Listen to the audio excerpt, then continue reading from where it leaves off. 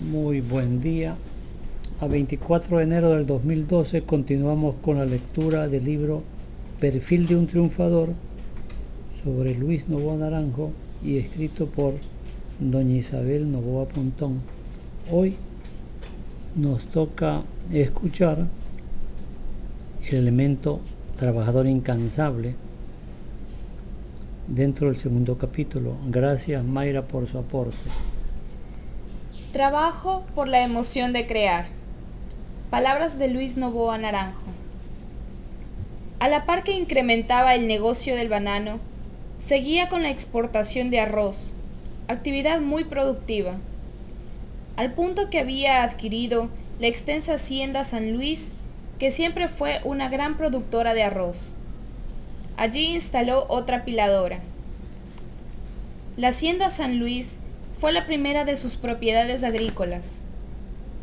Por esos días se asoció con las firmas internacionales Bunch Born de Buenos Aires y New York. Con ellas logró el primer sitial en exportación de arroz. Abarcó mercados como los de Japón, Sudáfrica y la India. Gustavo Negrete recuerda que a finales de julio de los años 50 Mientras trabajaba en el recinto Las Maravillas del Cantón Daule, como comprador de arroz para la piladora San Javier, de propiedad de Luis Vallarino Febres Cordero, se le acercó un señor que manejaba un jeep. Este señor lo invitó a formar parte de su equipo de trabajo con un pago tres veces mayor al que estaba ganando en San Javier. El señor resultó ser Luis Novoa Naranjo. Ya de regreso, por un camino de tierra, le habló de negocios, como era su costumbre. Quería adquirir arroz con cáscara, pilarlo y enviarlo al Japón y Venezuela, donde ya tenía compradores. Su vida va a cambiar conmigo porque le voy a pagar 1.50 sucres por cada saco de arroz. Pero tiene que venirse inmediatamente. Tenía tal poder de convicción que Gustavo aceptó inmediatamente. Cuando llegaron a un canchón de la calle El Oro, bajo una ramada inmensa, le mostró las rumas de arroz que a veces hasta inundaban la calle pues las secadoras no abastecían. Numerosos romaneros, calificadores y obreros trabajaban incansablemente. El negocio no era nada fácil, tenía sus secretos, pues se producían tres cosechas, dos en invierno y una en verano. La primera del año era de arroz de crecimiento rápido, no más de tres meses, para consumo interno en el país. La segunda variedad, que se denominaba Fortuna, de mayor tiempo de maduración, tenía mejor precio por ser el grano grande. La tercera o veraniega, también de la misma variedad, comenzaba a finales de julio y terminaba en octubre, es decir, de los 12 meses del año, durante 10 se cosechaba la gramínea. Cada fin de semana, el exportador recorría los recintos Las Maravillas, Laurel y Junquillal, en la zona del río Pula, que va hasta Vinces, porque los capitanes de los barcos se enfiestaban en esos días y no tenía competencia en la piladora Ecuador, formó un equipo de compradores compuesto de las siguientes personas. Luis Napoleón y Casa, que recorría San Borondón y El Salitre. Luis Florencio Lastra, en Catarama y Ventanas. Gerardo Brando Naranjo, en Daule y Santa Lucía. Los hermanos Otón y Bolívar Landívar, en Catamara, Ventanas y Babahoyo. con lancha propia. Luis Coello, en Babahoyo. Antenor Noriega, en San Borondón. Juján y Babahoyo. Y Olmedo Rendón en el río Pula. Miguel Portugal y Ricardo Pacheco eran los calificadores del grano. Eduardo Cruz tenía a su cargo el laboratorio.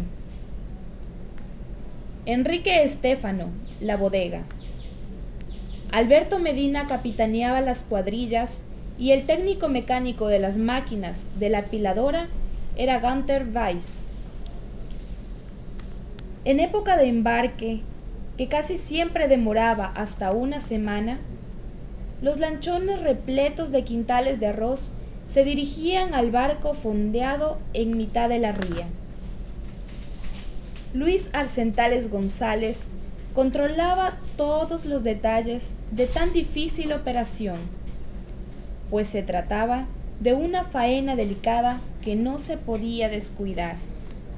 Quizá por eso relata Gustavo Negrete, Novoa hacía llevar un colchón desde su casa para descansar en el muelle. Por las noches se tomaba el trabajo de dejar personalmente a sus empleados en sus domicilios. Al despedirse les decía, no dejes de venir a las siete. Cuando regresaban al día siguiente, él ya estaba allí. Enrique Ponce Luque le ayudaba en todo y eran inseparables amigos. Al finalizar los embarques, se vendían los saldos de arroz a los mayoristas de la calle Pichincha entre Sucre y Colón. Los más conocidos eran Alfredo Armijos y Bolívar Neira Guerra. Si el mercado se satura, hay que moverse más. En ello, radica el éxito en tiempos de crisis, decía Luis Novoa. Las lanchas del grupo Novoa, llamadas La Abundancia, El Jorupe, la San Luis, la Gatún y la Granada, arrastraban cuatro canoas acoderadas a sus dos lados. El remolque Santa Lucía, que poseía más potencia de máquina, se encargaba de sacarlas cuando por efecto del verano bajaban los caudales de los ríos y las canoas repletas de arroz se varaban.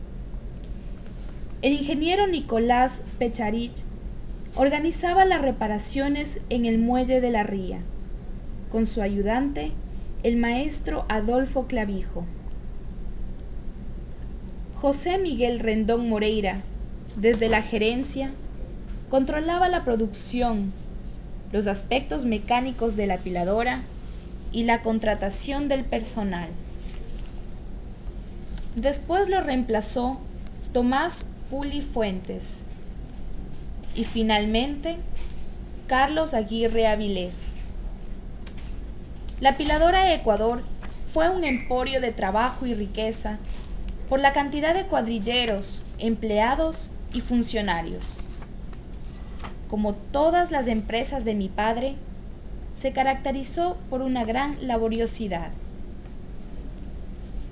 El negocio del arroz lo dirigía desde su oficina principal, ubicada en Malecón y Pedro y Casa, inmueble de propiedad de su socio Juan X Marcos. Ya en años anteriores, su incalculable dedicación al trabajo se había vuelto proverbial mientras algunas personas de la sociedad guayaquileña paseaban en sus coches a las 11 o 12 de la noche, luego de las fiestas, las oficinas de Marcos estaban encendidas, señal inequívoca de que Luis Novoa se hallaba trabajando. Esta conducta fue calificada como de inofensiva locura. Este ímpetu para el trabajo contrastaba con las holgadas costumbres de su socio, quien participaba de una intensa vida social.